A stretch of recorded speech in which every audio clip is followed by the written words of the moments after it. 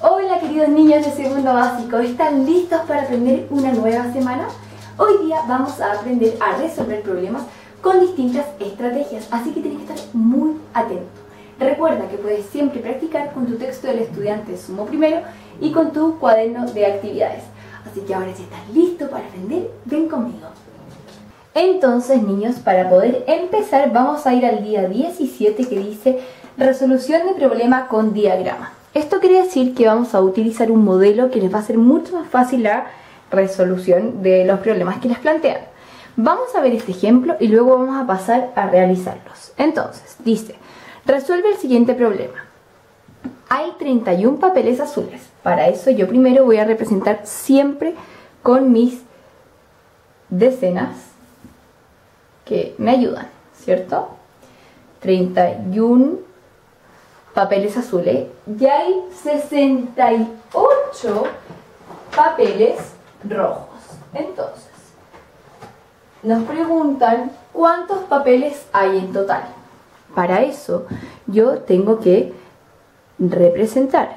Voy a juntar un poco mis decenas y voy a representar el otro número que es 68.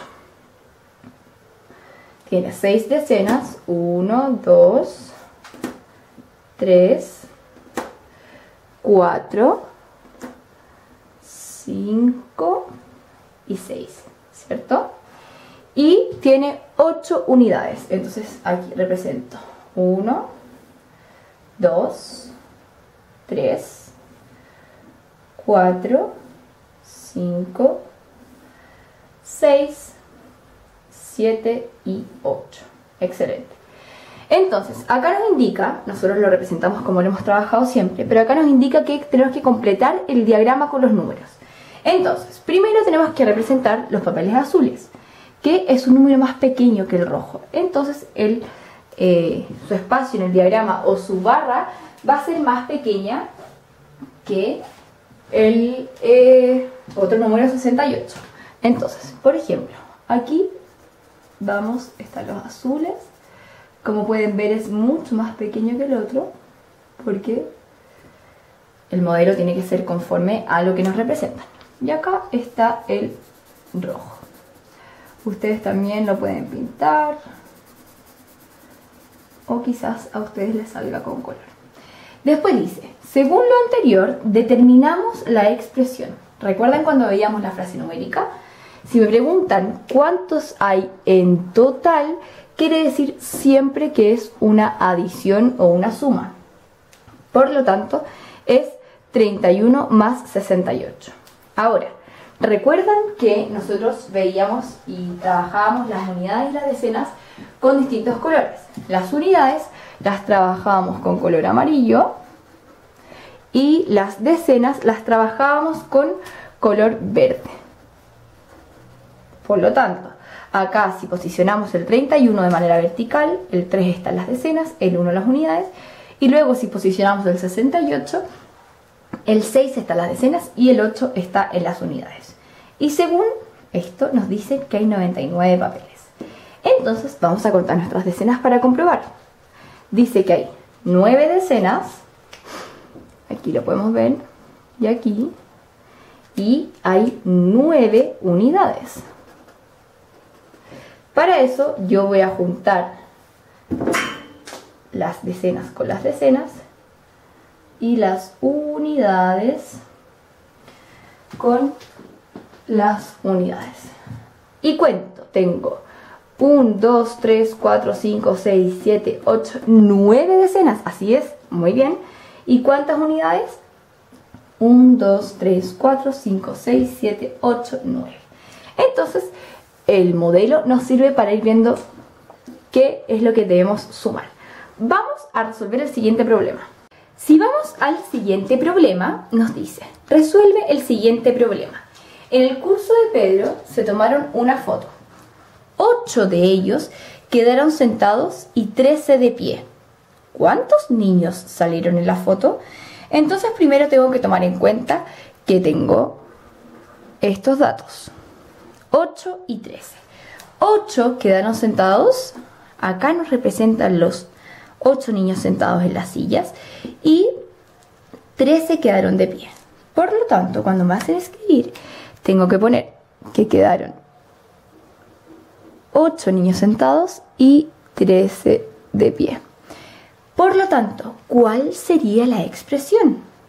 Si nosotros ocupamos el modelo primero, tendríamos que ir contando, tachando. Entonces, 1, 2, 3, 4, 5, 6, 7, 8, 9, 10, 11, 12, 13, 14, 15, 16, 17, 18, 19, 20, 21. Nuestra frase numérica entonces sería 8 más 13. Entonces, yo primero voy a representar los números que tengo que eh, sumar. Primero voy a representar el 8 con mis 8 unidades. 1, 2, 3, 4, 5, 6, 7 y 8, ¿cierto? Y luego voy a representar el número 13, que es una decena y 3 unidades. 1, 2, 3. Entonces, ¿cómo sería? Primero lo tengo que posicionar.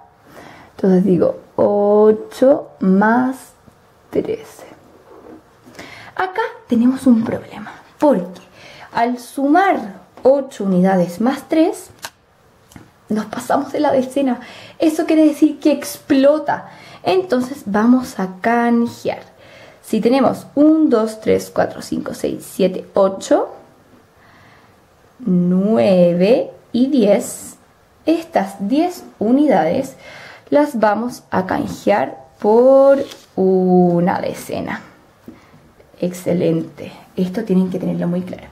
Entonces, ahí que lo canjeamos, podemos resolverlo porque es lo mismo que hacer esto.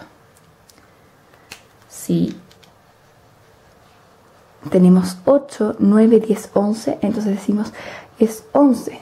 Pongo mi reserva acá, mi número abajo, miren, fíjense, una unidad queda y 1 más 1 es 2, porque me quedan dos decenas. Esto lo vamos a seguir reforzando, reforzando. Pero ahora, ¿cuántos niños salieron en la foto? 21. Súper. Recuerden que cuando yo tengo que sumar con reserva, no puedo pasarme de 10 porque no puedo poner un 10 acá abajo. Quiere decir que cuando llego a 10, la tabla explota y tengo que canjearla por una decena que la pongo aquí. Las 10 unidades que necesitaba canjear, las pongo aquí como decena. Y lo agrego con las que corresponden. Muy bien. Si nos vamos al día 20 de la plataforma Aprendo en línea, vamos a ver algunos problemas. Entonces, ahora seguimos en la 17 y luego nos vamos a la 20. Dice, con el siguiente problema responde la pregunta 2 y 3. El problema nos dice, hay 20 cintas azules, entonces primero tengo que ver qué datos tengo. 20 azules y 24 rojas. Entonces acá cuando me ponen el recuadro, tengo que poner que tengo 20 cintas azules y tengo 24 rojos. Tú lo puedes pintar. Y tengo que ver cuántos hay en total, pero no puedo llegar y hacerlo. Primero voy a representar 20 cintas azules, que aquí las represento con mis decenas, ¿cierto? Y 24 cintas rojas. Entonces represento aquí la otra parte. 21, 22, 23 y 24. ¿Cuál es la frase numérica? Si nos preguntan cuánto hay en total, siempre tenemos que recordar que es una adición. Por lo tanto, ¿cuál es la frase? 20 más 24. ¿Cierto? ¿Y cuál es la respuesta? Para eso yo tengo que, primero, situar mis números, ¿cierto?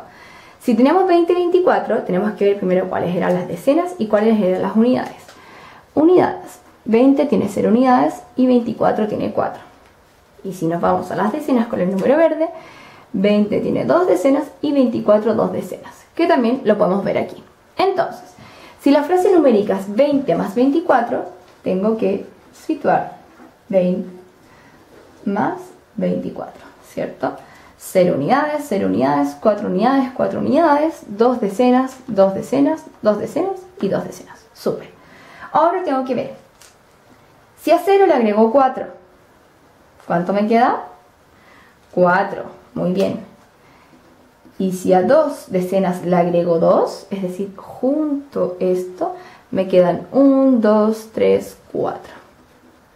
44. 4 decenas y 4 unidades. Entonces, ¿cuántas cintas hay en total? 44. Súper. Vamos ahora a las alternativas del día 20. Si nos vamos a esta eh, sección del día 20, dice, con el siguiente problema responde las preguntas 2 y 3. Entonces, vamos a partir. ¿Qué datos tengo? Tengo 27 dulces que me los representan ahí. ¿Se dan cuenta? Hay 5 chicles menos que caramelos. En total tengo 27 y hay 5 chicles menos que caramelos. Entonces, ¿qué tendré que hacer para saber cuántos caramelos hay? Hay 5 chicles menos que caramelos. Ah, ¿cuántos chicles tengo? Entonces tengo que pensar. Si tengo el total es 27, ¿cierto? Y nos dicen que hay 5 chicles menos que caramelos. ¿Cómo lo podemos saber? Así es, tengo mi chicle aquí y tendría que ser entonces 27 menos 5. Que esa es la frase numérica porque le tengo que quitar una parte. Ahora, si yo sitúo, recuerden que la decena va con verde, las unidades con amarillo y ahora escribo en el, recuadro vertical. 27, porque eran dos decenas y 7 unidades, menos 5. El 5 va acá porque solo tiene unidades. Entonces, si al 7 le quito 5, primero vamos a representar con nuestras decenas. Ahí 24, 25, 26 y 27. Si a 7 le quito 5, ¿cómo me quedaría? quito 1, quito 2, quito 3, quito 4 y quito 5. Me quedan 2 unidades. Por lo tanto, aquí escribo 2. Y si a las decenas le quito 0 o le quito nada, ¿cuánto me queda? 2. Por lo tanto, mi respuesta es que tengo 22 chicles. ¡Súper!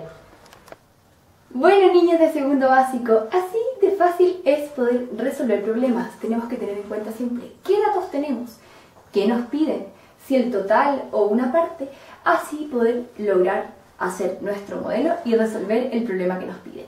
Recuerda siempre que puedes apoyarte de material para poder visualizar la operación que debes resolver y escribirlo de manera vertical para ver cuánto tengo que agregar o quitar dependiendo de lo que nos piden.